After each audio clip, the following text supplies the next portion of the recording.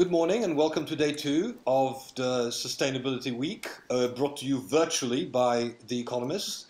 Uh, today we're going to be discussing how to prepare for a sustainable future and, and what that means for business models.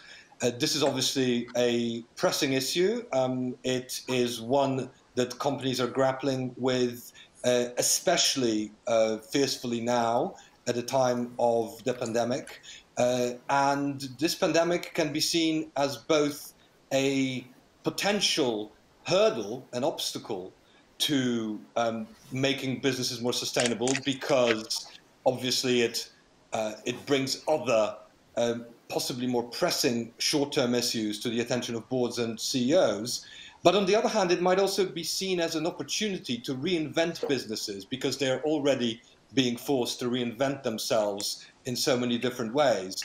And this reinvention could be for a better, more sustainable uh, future.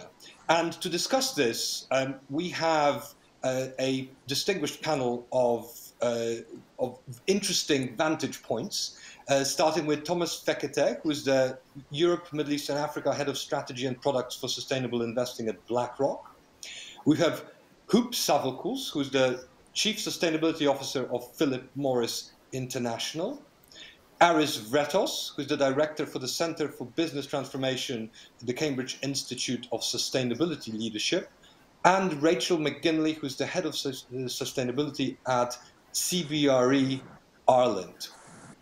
Uh, Aris, maybe as, as the academic in the room, I, I, will start with you. And I'll start with the question that uh, I posed in the introduction. Do you see the pandemic as more of an obstacle or more of an accelerant in broad terms uh, when it comes to reinventing companies to be more sustainable?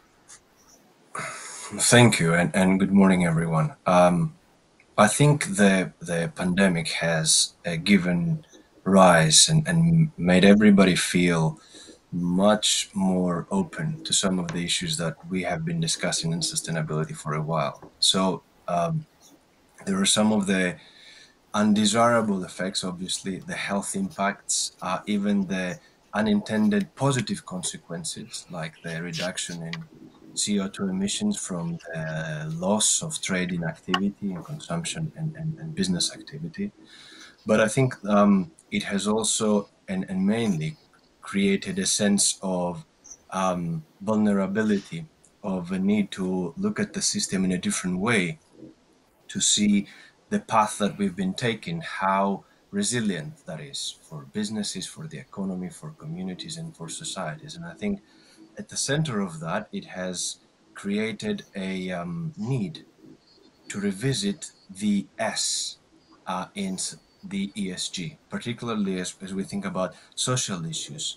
And while inequality as an issue has been growing in significance over the last couple of years, with the rising gap between the rich and the poor around the world, within countries too, I think that the pandemic has made us really uh, take a step back and look at how resilient, how vulnerable, how strong are we? What what what do we value in society? What is our purpose? Uh, and to put it sort of more more grandly, you know, there are there are uh, conversations everywhere about the role of communities, um, about the value of work and which jobs and which functions in society should be paid more or less. So all those questions that have been bubbling for, for a while, the pandemic has come and kind of made them, put them right front and center. And the other benefit um, from all this crisis has been that we have seen that we can intervene very radically.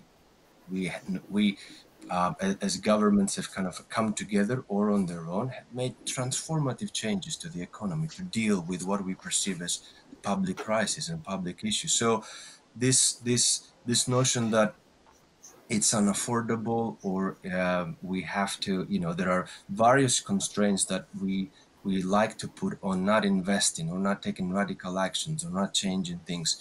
That all seems to have been demystified through the response that we have put in the pandemic. So, with all this crisis and the loss of, of, of health, um, we, we are at least in a position to revisit some of the core foundations uh, of um, the economy, society, and business.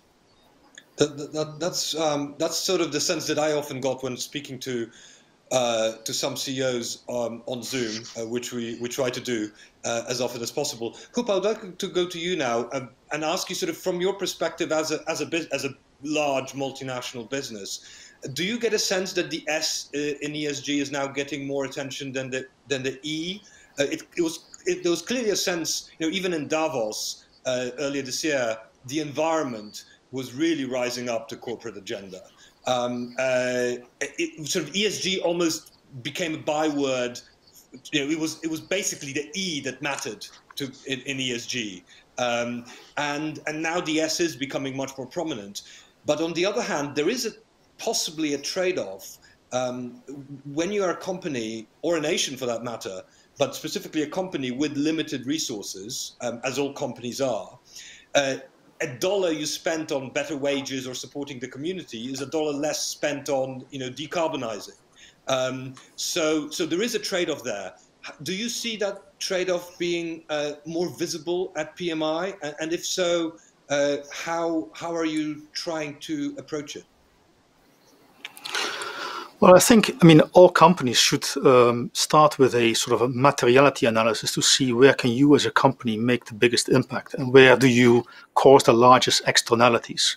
And uh, indeed, many people uh, equate sustainability with environmental matters predominantly. Um, but if you look at it, take our company, you know, we are a tobacco company. The biggest impact we have uh, is on the, the health of the consumer. So actually, the ESG discussion uh, is actually missing the P of product, I think, sometimes. And uh, in my strong conviction, I think if you don't look at your most material topics and address them head on, I don't think you can call yourself sustainable as a company. So in our case, the focus has been very much on what can we do about the product that we produce and sell and the impact on the consumer. And the conclusion is very clear. We must replace cigarettes with something better. And this is the, the line we have been on for the last four years, and we think that many countries can be without cigarettes within 10 to 15 years. So that's my, my short answer. If you look more broader at ESG, I think many companies, including ourselves, the between the E and the S, um, the S is far has far bigger impacts. I mean, in our case, it's predominantly uh, the, the farmers who are producing tobacco and labor issues, uh, especially in developing countries, which are, uh, I would say, the, the major focus we have uh, when it comes to sustainability. Not that we are ignoring climate change, but uh, climate change is, of course, the number one material topic for the planet. and we are, I think, very good in that respect. But as a tobacco company, you can be the greenest company on the planet. If you don't do something about the product, I don't think you can call yourself sustainable. How, so can I just do a follow-up question on that? You mentioned materiality. How does PMI? Do you have a, a sort of a specific algorithm for determining what in your uh, business is, you know, does have material externalities, positive or negative?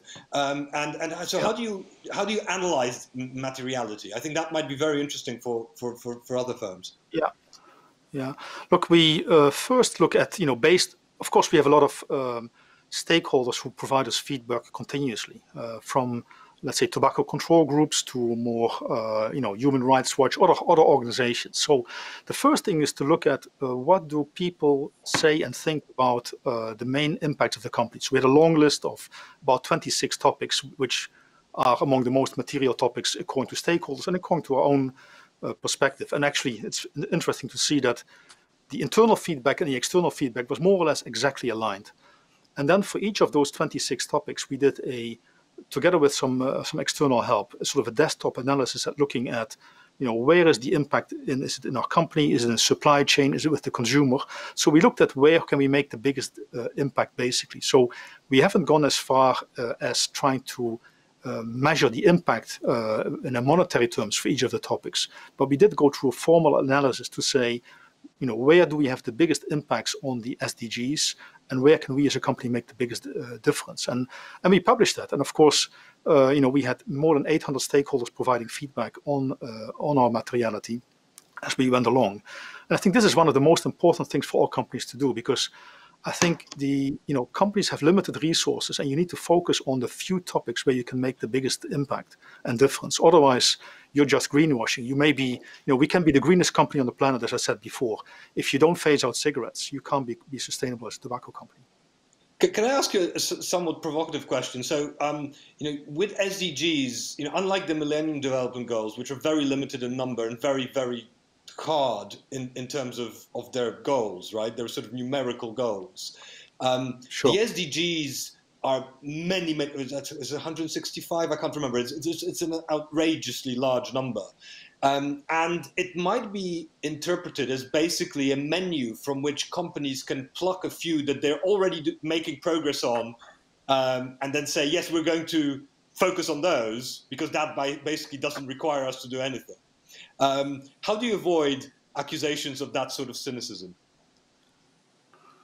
Uh, by involving stakeholders in determining your materiality. I think it's you cannot just indeed, as you say, look at what you're already doing and where where can we score the points. You need, you need to really look at you know where do people say you have the biggest negative uh, impacts on society, or where can you make the biggest positive impacts. And as I said before, you know, uh, smoking is extremely harmful. Half of our consumers. Uh, will you know likely develop uh, let's say uh, illnesses as a result of using our products you know how can it be more material than that so this is what we need to focus on and then you look at um, what is the agenda of the world, which is reducing or eliminating cigarettes, and how can you help to do that better? And we think our role in this this context is replacing cigarettes with better alternatives. Right. Thanks a lot, uh, Thomas. I'd like to move on to you and and again ask you um, sort of to, from your perspective as an investor um, on the sort of attention.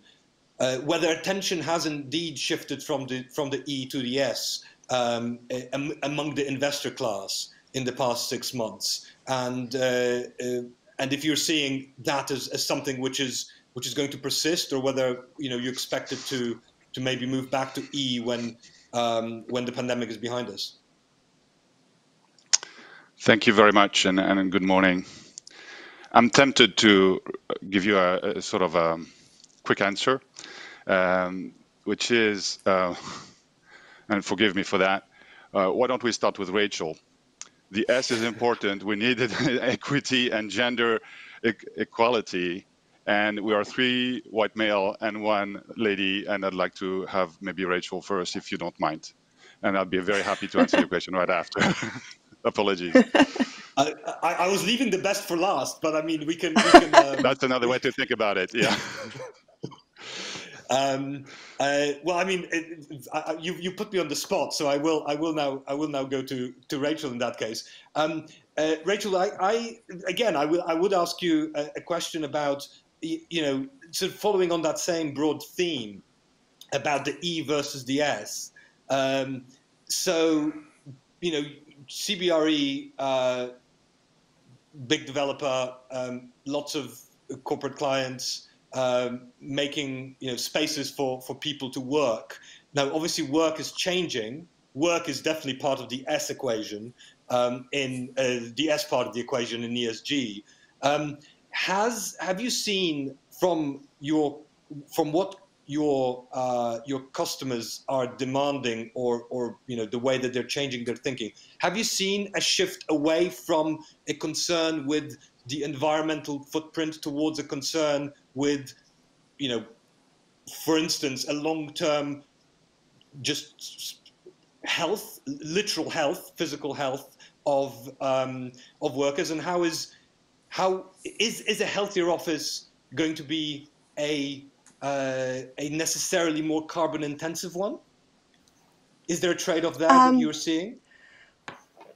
There is I suppose, a little bit of a trade off. I think over the past 30 or 20 years, um, the property sector has got a lot better at, um, they started with environmental sustainability. They've got a lot better at um, developing and designing um, low energy buildings or even carbon neutral buildings. And there's a lot of focus on how, how those building systems are designed and made to be energy efficient. And then you've got renewables on top of that as well.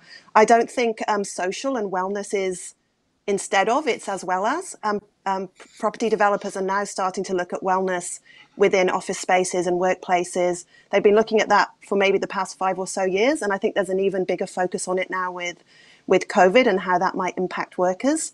But I think um, we don't just look at um, commercial office space. I think there's a bigger question around social sustainability for workplaces and homes. I think with um, with COVID, as we've seen people working from home more, we're starting to sort of question are those houses and homes suitable for working from home as well. So I think there's a sort of um, yeah, yeah, we're looking at both. I think energy efficiency and sustain and environmental sustainability is something that property has been working on for a, a while, and social sustainability and wellness is now as well as on top of that. So it's interesting. I, I, would like to follow up on that a little bit because it's, you know I've been working from home for the past six months, um, and uh, I would have thought, for instance, that you know that was obviously the summer months, and it, you know in Britain it's never. Mm. I mean, it was pretty hot this summer, but it's not typically hot enough to warrant having an air conditioner. So in some places, yeah. know, I was actually probably using much less energy than I would be, uh, you know, per person uh, going to the office. In many places, uh, the fact that people are working from home might actually mean that the energy efficiencies that you have in a in a you know well insulated energy efficient offers are going to be lost. Um, so the wellness, in other words, you know, many people like working from home. Not everyone, but you know, many people do like working from home. Office workers, obviously. I mean, those in the fortunate uh, professions who are able to work from home. Um, uh, so the, the, there is again, there is, does seem to be a bit of a trade-off. And are you seeing uh, customers and uh, and and homeowners thinking about it in those terms? Uh, and and what are you telling them? Um, I mean, obviously, what, one thing you could say is that, for instance, the fact that many people are working from home, even if they're using a little bit more energy at home, they're not commuting to work, so the transport footprint is low, is, is, is a bit lower than it would otherwise have been. On the other hand, yeah. you know, in our office in London at the moment, we have a you know maybe a dozen or a few dozen people coming in, whereas normally it would be 200. So the footprint per person in that office has massively shot up. So, you know, do, do you have sort of any any specific answers to, to those questions? I don't. Well, I know that we certainly haven't, and I'm not sure if anyone's looked at yet. I guess the sort of overall carbon balance of people moving from offices to working from home. I know that across the office sector and the residential sector, there's um, encouragement from government, from the EU and the Irish government to make both of those more energy efficient.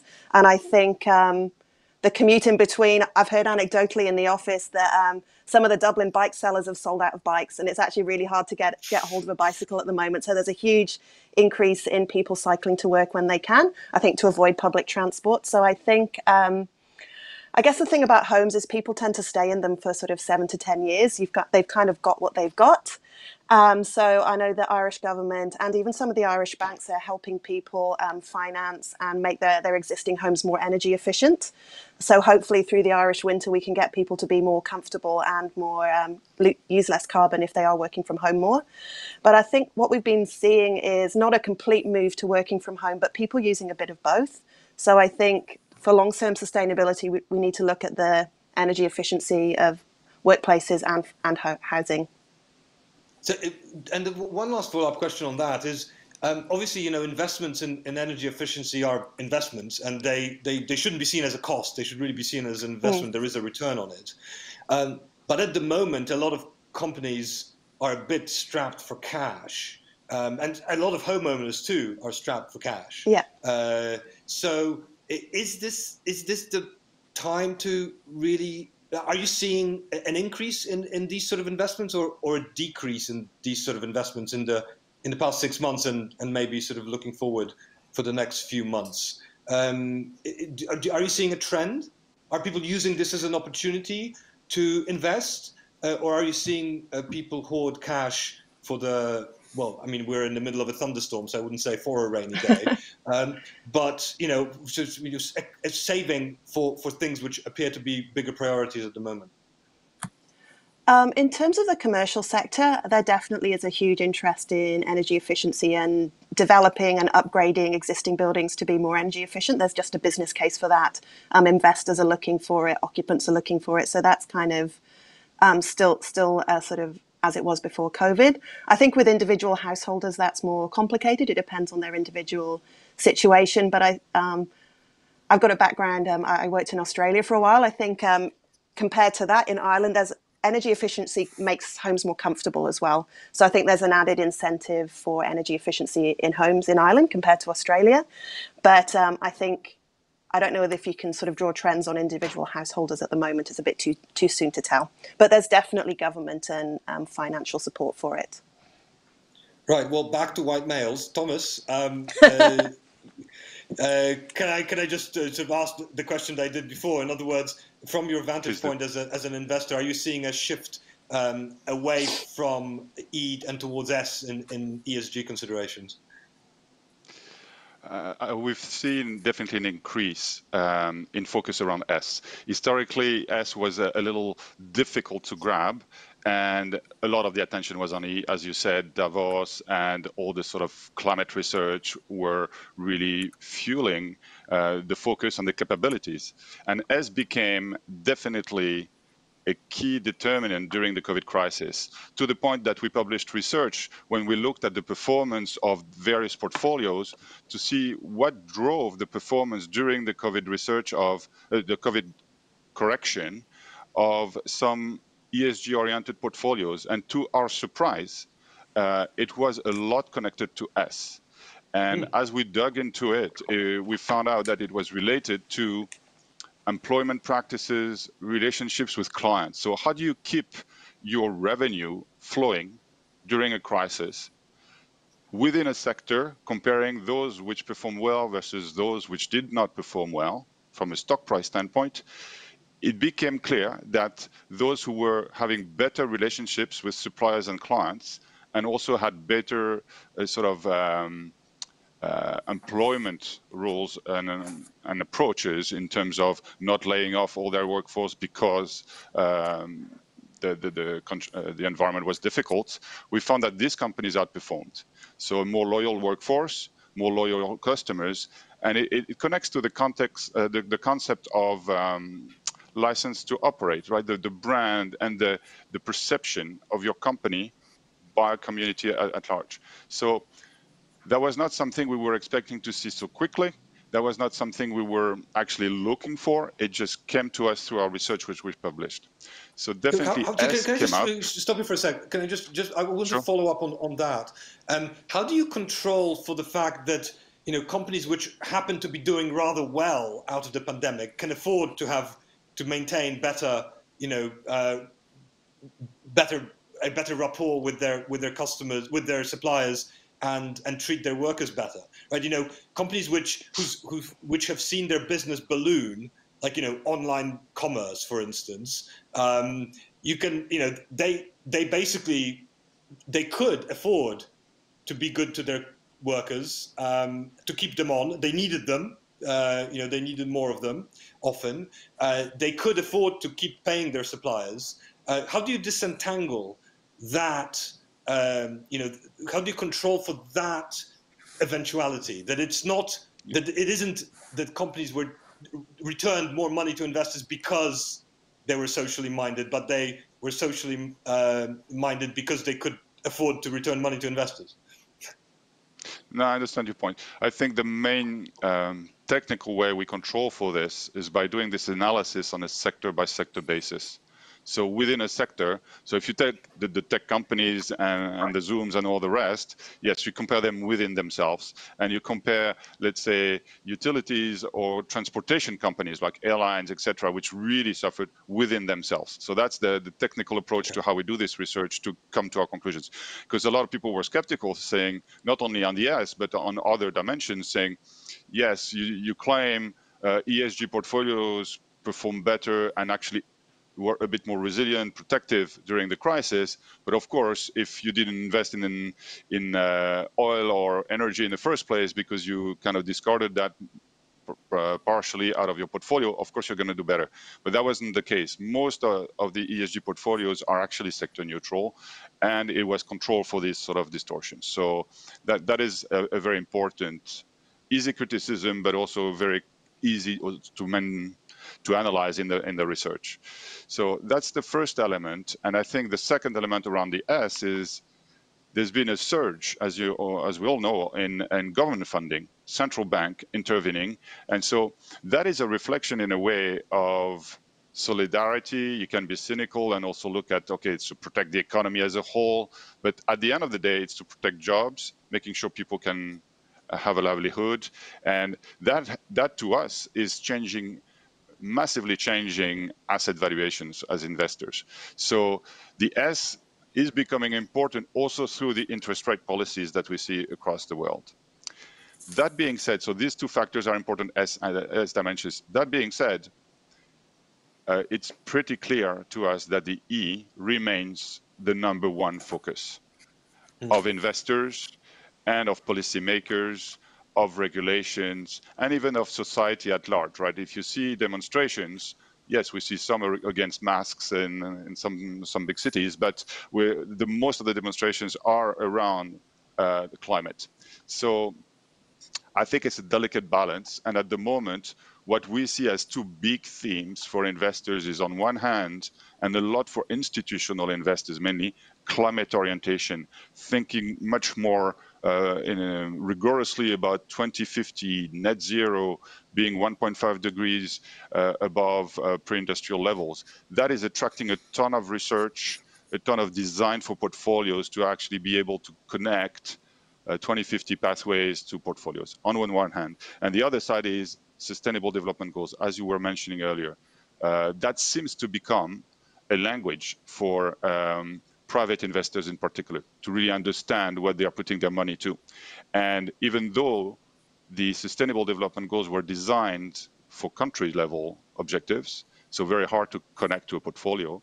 Uh, the 169 targets that are underlying them uh, are targets that can be connected to ESG metrics. And that's the kind of research we're doing to really progressively analyze portfolios in light of this. And the important question you raised earlier is, you can't just pick and choose. You cannot say, I'm supporting SDG number five, whilst at the same time you're harming SDG number eight. So it's really about a net effect. It's about the concept that the EU uh, is developing of do no harm that are progressively getting embedded in our portfolio designs. So, I, and I think the SDGs is in a way the layman's way of talking about uh, the S in ESG, a lot of it. So can, can I ask, you know, one of the one of the problems, one of the sort of criticisms, or, or um, maybe it's not a criticism, but sort of one of the challenges for, for ESG investing is is coming up with the right stand, accounting standard and metrics.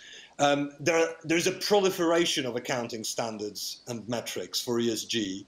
Um, you know, some of them lead to somewhat sort of counterintuitive um, uh, results such as you know something a, a, an oil and gas company being being uh, uh, scoring pretty high because it's moving away from uh, from coal to to oil or to, from coal to gas. Still a brown, if not a, an entirely dirty fuel. Um, uh, but there is a proliferation of standards. Is do you see investors coalescing around a, a, a, certain set of standards or, or maybe just a, a, handful of sets of standards that are becoming you know best practice um, and and if not when, when do you expect that to happen um, very, very important point related to all the data behind ESG and how it's used and the quality of it and the analytics behind them. So I'd say two, two parts to your question. One is about really the standards like SASB, TCFD, GRI. These are organizations that are putting in place and proposing ways for companies to disclose. On the other hand, I think you referred to uh, scoring systems where maybe an energy company would score high and a, a more a, a, greener business would score not as high. These are more uh, data providers like the index providers or a, a number. There's a flurry, as you say, of ESG data providers and impact data providers. So there are uh, parts of answers for both. So first for the um, accounting standards, the proper one, what is very uh, difficult to manage for the world is when there's fragmentation, different points of views of how we should report. We've seen over the years the accounting standards, not the sustainable ones, but the traditional ones, have progressively, progressively uh, converged to a, an international standard. Um, in Still various parts of the world. Still not uniform, but at least manageable for companies to report yeah. and then make some equivalence. Um, the same is expected uh, for sustainability standards, but we're at the start of the journey. So everyone's kind of innovating in their own part of the world. What's very encouraging is the recent in June uh, combination of all these uh, organizations to aim for something that's combined, right? So where companies will be able to uh, not have to choose between one standard or the other or have to report on all these standards. So that's very encouraging to us uh, that the, the sort of rivalry, for example, between GRI and uh, TCFD uh, and SASB, sorry, came to an end. Both organizations talk to each other and are now working together. This is fantastic. I think this is what we support. Um, there's also a, a, global tension between uh, more Anglo-Saxon and European standards coming together. Again, they're talking to each other. That's that's necessary. We find already that using these standards is extremely effective uh, in terms of encouraging companies to disclose. So TCFD definitely has helped uh, the financial industry to be able to analyze these companies because we can want and to change uh, portfolio management in the direction of sustainability. If there's no data, we can't do much. Then when you look at scoring systems that various index providers uh, bring to us mm. and non-index providers, you're right. One and uh, the criticism that's usually made is company A, uh, well, scoring company A and company B end up with contradicting uh, messages because the, the aggregate scoring they provide don't add up, don't, I mean, contradict uh, each other. What's important for asset managers, and that's also what our clients are putting onto us, is they don't want us to just blindly use the aggregate scores. They want us to do our own research, use the raw data, and understand why these differences exist. And we actually can justify why a provider A and provider B come to different results. It's just because they've aggregated data differently and they are showing something different. If we use the core information, and that's what we've built, and many sources of data, then uh, we can really have insights to manage portfolios. So I, I think what's important is the availability of data on climate, on social issues, so and at, at raw level, so that asset managers can use them at raw level and then do their own analytics. Uh, thank you. Um, Aris, I, I, wanted to ask you, sort of, from your perch as, as an academic observing this world, whether you're seeing something similar to Thomas. In other words, that there is this, there is some form of convergence on the standards, but still uh, a little bit more of a way to go on the on the specific uh, indexes and uh, and metrics, uh, and you know how you see the prospects for having something relatively uniform for for most people to agree on in the way that we have you know the GAAP uh, accounting standards for finances. Thank you. So I um you know let I um I want to reframe the question a little bit and, and to say that um Thomas has made a very clear case and, and the announcement this month or last month about all the different providers CDP and SASB and, and GRI and so on coming together that's a great step in the right direction but I um, I think in a way we're a little bit past that conversation. Not that it isn't important, but it's a mechanism. I guess that the, the reality of things, I I cannot see a rationale where a company, and I'm not talking about from uh, an investor perspective here, but from a business perspective, I, I cannot see any sort of reason why as a company that is invested in the future has a long-term view of what it wants to create, how it creates value, can afford to ignore the env environmental, social, and governance considerations. All the evidence around us at the moment, whether environmental, the impact of climate change, degradation of natural ecosystems, the growing polarization and, and, and, and side effects of, of, of inequality, you know, they, they create very real commercial, financial, economic, reputational, ideological, personal, generational. There's, there's a million business cases that a company can can make. So I I we see many organizations, particularly this year, but over the last kind of decade or so, that have set very ambitious policies, um, net positive to 2030 to 2040. Um, and we've had a flurry of, of, of, those companies from every single sector, technology, retail. We've had, you know, the, the Unilevers have been followed by the Danones, the Ikeas, Google and Microsoft and many, many examples who have not been hampered by the lack of convergence of those standards that have gone ahead and put some very, very ambitious goals. Um, so I, I would not, you know, I, I cannot take the lack of convergence of standardization that we're not there yet as any reason why companies could not and should not take ambitious action to address not just their own footprint, but their change in role in society and what is expected of them. It's no longer enough for an organization to say, you know, we emit, we'll try to minimize our footprint. You know, who cares uh, if you try to minimize your footprint only? what COVID has shown us is how connected we are and how interdependent we are. So everybody, all those all those forward-looking organizations, if we want to, if they want to have a play a role in this new sustainable economy, then they have to start looking at how do they create solutions for for problems that we experience uh, as society as a whole to retain that license to operate. And the other sort of from an academic point of view, um, counterpoint is whilst we often talk about the lack of clear evidence about the causality between returns and sustainability, I don't think I've ever seen any evidence that says a company that has invested in sustainability has not done well financially.